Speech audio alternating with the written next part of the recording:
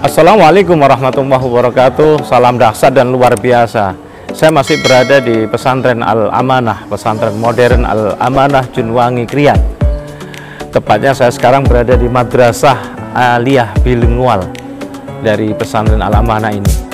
Uh, Satu sekolah uh, pesantren yang menurut saya di Sidoarjo layak diperhitungkan. Teman-teman sekalian Kenapa saya sering kali mengatakan pentingnya visi dan misi? Termasuk sekolah ini. Jadi sekolah ini memiliki visi madrasah terwujudnya lulusan yang Qurani, yang cerdas, terampil, dan kompetitif dalam globalisasi.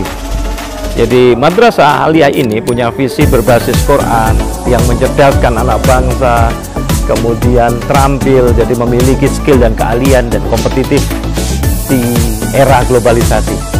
Oleh karena itu, mau tidak mau berarti digitalisasi pendidikan, kemudian kemampuan literasi digital. Saya lihat di misi madrasah ini ada memahami, menggali dan mengembangkan basic skill santri dalam setiap kegiatan pembelajaran, baik di dalam maupun di luar kelas. Ya. Kemudian yang keenam meningkatkan kualitas sumber daya manusia dalam persaingan dunia global.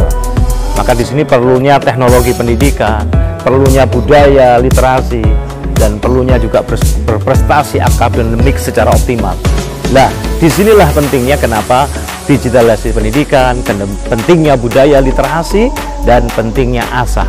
Kenapa? Karena dengan aplikasi ASA, anak didik itu bisa diketahui talenta, bakat, dan minatnya, sehingga kemudian mampu bisa dikembangkan potensinya secara maksimal dan optimal. Maka inti dari coaching itu sebenarnya, inti dari coaching itu adalah bagaimana membangun kesetaraan, ya membangun uh, persahabatan jadi guru bukan sekedar hanya uh, hubungan guru dan murid tetapi adalah sebagai coach bagaimana dia mengantarkan murid-muridnya memiliki optimasi potensi yang luar biasa oleh karena itu jangan pernah takut untuk mengupgrade diri Anda, jangan pernah berhenti untuk terus meningkatkan skill dan kemampuan Anda. Salam dahsyat dan luar biasa. Wassalamualaikum warahmatullahi wabarakatuh. Masih bersama Edu Coach.